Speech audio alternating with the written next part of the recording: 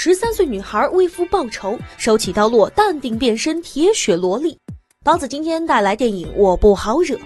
贝奇的妈妈一年前因病去世，然而她还没有从丧母之痛中走出来，爸爸就找了新欢。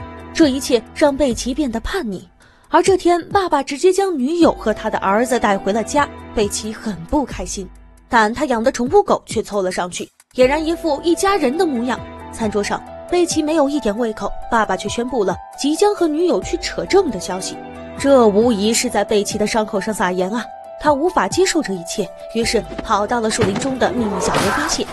另一边呢，戒备森严的监狱里，一个光头模样的老大和他的三个手下成功越狱，接着在路边拦下了一辆小轿车，不仅杀掉了司机，还将车上的两个孩子都灭了口。但他们的目标不止于此。他们来到了贝奇的家里，制服了毫无防备的贝奇爸爸。但在面对母子时，大块头心软了，他偷偷将母子俩放出去。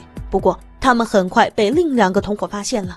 此时，儿子说要去找贝奇，继母为了不让贝奇陷入危险，只能谎称贝奇是他们的一条狗。恰好此时，一条狗狗冲了出来，被他们当场击毙。远处的贝奇用望远镜看到了一切。母子俩被抓回去后，他们开始寻找一把钥匙。但是呢，找了一圈都没有找到。此时，贝奇已经看到了房子里的状况，他想拿手机报警，却因为够不着，只能拿走对方的对讲机。老大发现一个女士书包和一部手机之后，立马意识到还有一个人的存在。老大逼问着贝奇的下落，期间还向警察推开了一枪。贝奇听到惨叫后，立马通过对讲机告诉对方自己在邻居的家里已经报警了。但这显然恐吓不了他们，因为最近的一户人家在二点五公里外，而对讲机只能在五百米内进行沟通。于是大块头将爸爸带到了院子里，对他行刑。贝奇不忍爸爸受苦，想起那把在地下室找到的钥匙，赶紧拿了钥匙就去救爸爸。但爸爸为了不让贝奇陷入困境，自己挣扎着逃了出来，但最终在贝奇的面前被老大击毙。此时的贝奇呀，满心都是愤怒，于是拿着钥匙就扎进了老大的眼球，又拔了出来，接着逃回树林。此时，贝奇的黑化值逐渐叠加，他发誓一定要为爸爸报仇。于是，他将画笔和尺子做成了武器，在其中一个手下寻找他的时候，他丢出硬币吸引注意力，接着用画笔对他进行攻击。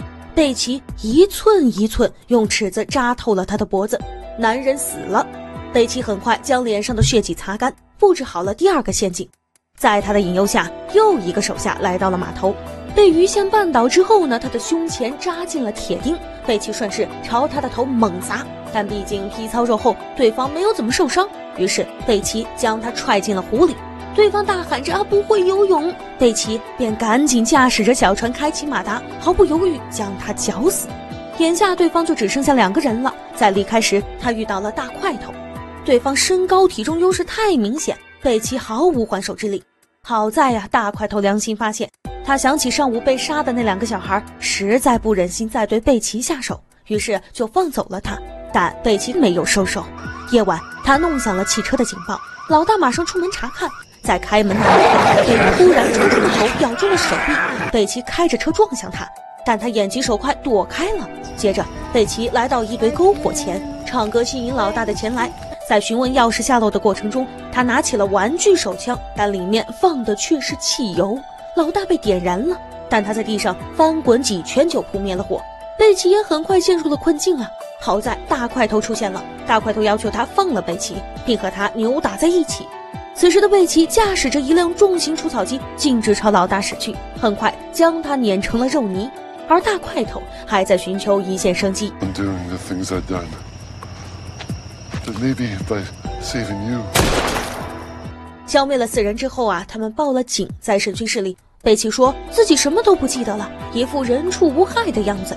独处时，吃着曾经讨厌的水果软糖，他露出了诡异的笑容。影片有一个帅气的名字，我不好惹。十五岁的女主演绎了一出杀人版的小鬼当家，她愤怒、机智、果敢，拥有好运气。最后将带来灾难的钥匙挂在了身上，带着十足的讽刺意味。但影片最后也没有对钥匙做出交代，看起来像是有续集的节奏。这么一个铁血萝莉反杀坏人的故事，你喜欢吗？今天的故事到这里就结束啦，我们下次再见。